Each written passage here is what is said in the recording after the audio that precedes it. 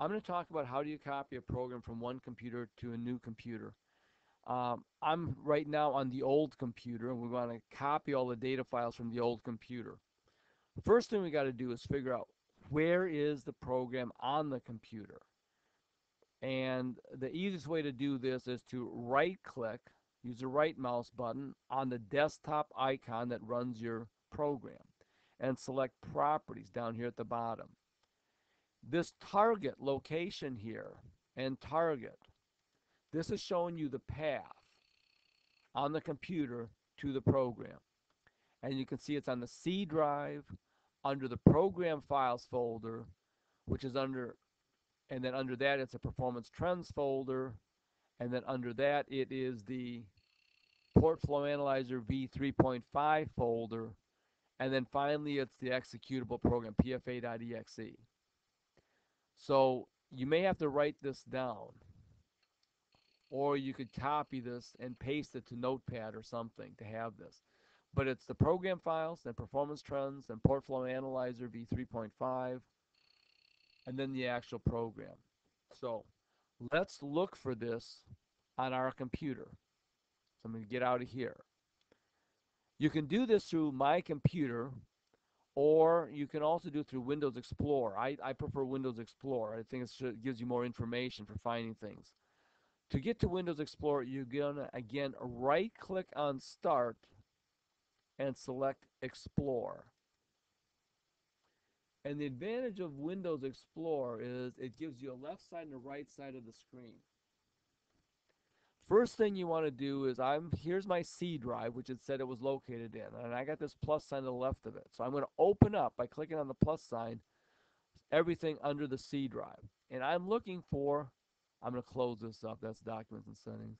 I'm going to look for program files. They're alphabetical, and there's program files and I clicked on the plus sign that was to the left of it. See, I click on that and it opens up everything that's inside program files. And now shifted to the right a little bit. And all these things are actually inside program files. So I'm going to go down through here looking for now performance trends. There's performance trends. Click on the plus sign to the left of it. And I'm going to go down through here. There's port flow analyzer. Now, what I want to do is I first want to make a backup copy of this. Get this off this old computer. I'm going to right click on the port flow analyzer folder and select copy. And then I'm going to go, because I'm going to copy everything, um, which is takes more time than need be, but it, it makes it safe. I'm going to copy the entire port flow analyzer file folder with all the contents and I'm going to paste it to my memory stick, this removable disk G. And again, I'm going to right click on that name. This time I'm going to select paste, P-A-S-T-E. And it says there's, because I've been doing this, uh, there's already a folder name like that. Do I want to do it? Yes, I do, and I want to do it to everything. And you can see here, starting the copy process from the computer to the memory stick. And you can see it's going to say it's going to take quite a while. So I'm going to pause out of this so you guys don't have to look at all this. Now what I'm going to do is I'm going to assume that I'm on the new computer. I've made a backup copy off the old computer, and now I'm on the new computer. I am going to assume that I have installed the new program on the new computer. So what am I going to do is, again, on the new computer, I'm going to right-click on the desktop icon on the new computer, now, in this case, it's the same as old one. Select Properties, so I know where it's stored on the new computer. Okay, it's the same place as before. And what I do now is, again, I right-click on Start and Explore.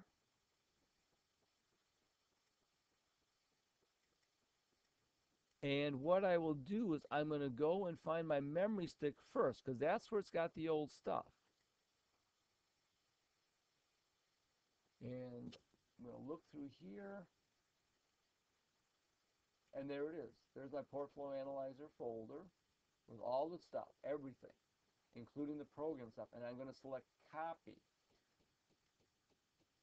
And I'm going to go up here and find where this program is based on where that properties of that desktop icon were. And it said again it was in program files. And then performance trends. But here's the kicker. I'm not going to paste this into the new Portflow Analyzer that's on this computer. Because then I'll put Portflow Analyzer underneath a Portflow Analyzer inside it, and that's not what you want. You want to paste it to performance trends, one level up. Because we're saying put this Portflow Analyzer into performance trends, which means it'll be in this list down here, which is exactly where you want it to be, Portflow Analyzer. So let's do that and I'm going to paste it there. And if you're doing it right, it should say it already contains a port flow analyzer because you are going to overwrite what you installed off your CD with this new information, with all this all the stuff from your old computer. So I'm going to say, yep, that's what I want to do. I'm going to say yes to all. Okay, can't use it. I've been playing around here. Let me get turn this off I was running Portflow Analyzer on this computer and that's why it didn't let me do it. So now let me do it again. Paste on that. I'll click on it and then click on paste. Yes to all. Now it went very fast for me because I didn't make a complete copy. But now what I've done is on the new computer, I put all the old stuff. Now, in an old DOS computer of 15 years ago, that would have been enough by itself. You would never have had to install the program.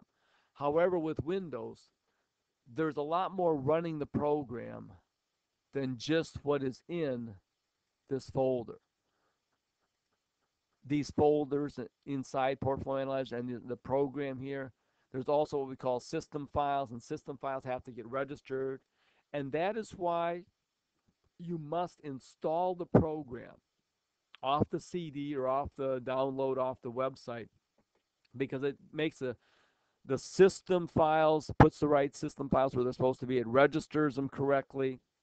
And it's just the way it is. It's a little more complicated in windows than it was with old dos stuff. So a lot of customers call up that copied my program over but it won't run. That's why. You've got to install it first. So now what we've done is we have installed on the new computer copied everything from the old computer, all your data files, however, also the program file also, and overwritten the new installation on the new computer.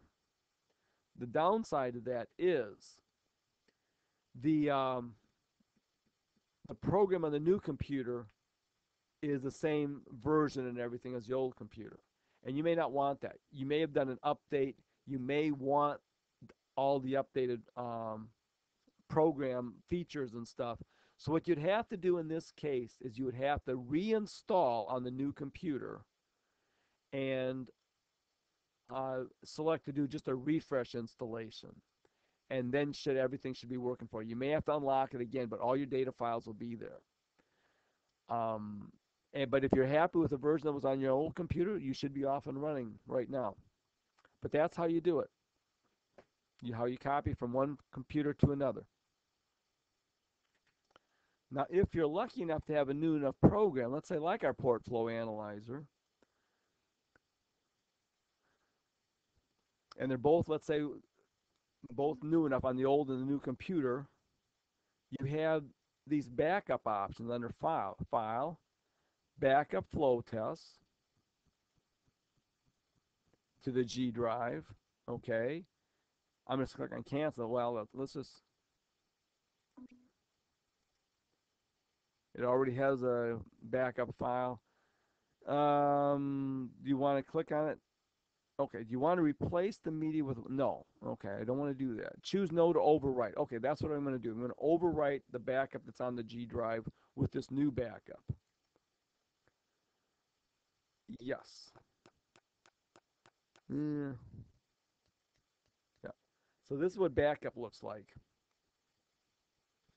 And what you do then is take this again to the old, I'm sorry, the new computer. We're backing up off the old, take it to the new computer and do a restore on the new computer. And it'll ask you where you want to restore from. You're going to say from the, it might be an F drive on the new computer. Okay, it's backed up. And let's say we're on the new computer now. You say File, Restore from a backup, restore all backed up tests. Okay, it's going to give you a lot of warnings here about things that if you restore uh, a file from the old backup that happens to have the same file name as what's on the computer, you would erase what's on the new computer with that old data. Generally, this is not something to worry about, um, especially if you made a backup yeah, it says like it says here, it recommends you make a backup of your current test files on the new computer first. But if this is a new installation, you got nothing to worry about. There's no good data files there for you anyway. Do you want to continue with the restore process anyway? Yes. Okay, do you want to restore things saved in the G drive? In this case, it's going to be yes. You click on no to pick a different drive, but you cancel that too. So I'm going to say, yep, I want to do it from the G drive. Insert, insert the, mat, the backed up media on the G drive, then click OK. Okay, do you want to continue? Yep. 26 tiles restored. And this is, do you want to make the program's current settings, current flow test file, preference settings, match this backup? This would be where you'd say yes if you're installing from an old computer to a new computer. Uh, if you just want to get the data files, not the preference settings and the master data, uh, flow bench files and stuff, then you'd say no. I'm going to say no because I know that.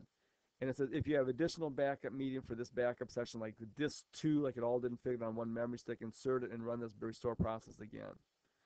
So anyway, that's it's much easier when you have one of our newer programs that has this backup and restore feature. So that's how you transfer from one computer to another.